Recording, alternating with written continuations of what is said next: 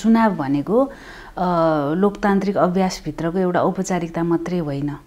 यो नेतृत्व र जनताबीच पार्टी र जनताबीच चाहिँ यस्तै सूचनाहरू प्रवाह गर्ने ज्ञानका कुराहरू आदान प्रदान गर्ने त्यस कारण हामीले पनि भोटर एजुकेसनमा चाहिँ अलिक पहल लिनै पर्छ नेतृत्वदायी भूमिका खेल्नै पर्छ।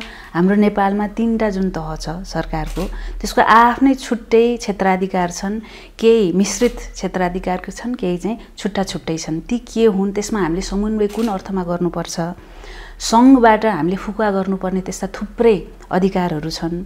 संविधानमा लेखे पनि कानुनहरू बनिसकेको अवस्था छैन होइन? त्यसमा चाहिँ हामीले बनाउँछौँ भनेर भोटरहरूलाई त्यो शिक्षा दिनु एजुकेसन दिनु पनि हाम्रो दायित्व हो। सँगसँगै यो पनि यथार्थ हो कि फेरि आफ्नै होइन घरसँगै जीवनसँगै जोडिएका खानेपानी बाटो ढल लगायतका मुद्दाहरूको सम्बोधन भएन भनेर आफ्नो जनप्रतिनिधिलाई भन्न पनि पाउनुपर्छ। त्यसमा सङ्घको हामी नीति निर्माण कानुन निर्माणसँग सम्बन्धित भए पनि हामीले चाहिँ प्रदेश देश र स्थानीय तहकासँग समन्वय गरिदिने होइन कम्युनिकेट गरिदिने त्यस्ता कार्यक्रमहरूमा त कार्यहरूमा हामीले अग्रसरता लिनै पर्छ।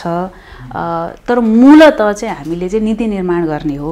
व्यक्ति आउँछ जान्छ तर व्यक्तिले चाहिँ के छोडेर जान्छ? होइन संस्थाहरू बलियो बनाउँछ कि बनाउँदैन? नीतिहरू बलियो बनाउँछ कि बनाउँदैन? यो कुरा चाहिँ हाम्रो प्रमुख दायित्व हो भनेर चाहिँ हामीले बुझाउनै पर्छ। त्यो बुझाउने अभियानमै हामी छौँ।